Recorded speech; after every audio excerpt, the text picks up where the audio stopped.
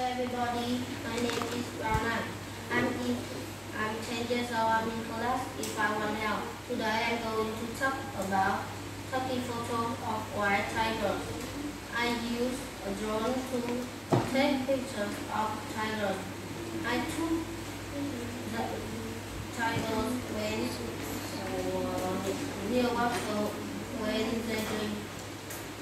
My first impression of the tiger was they, they They have broad orange fur and can run very fast and very night.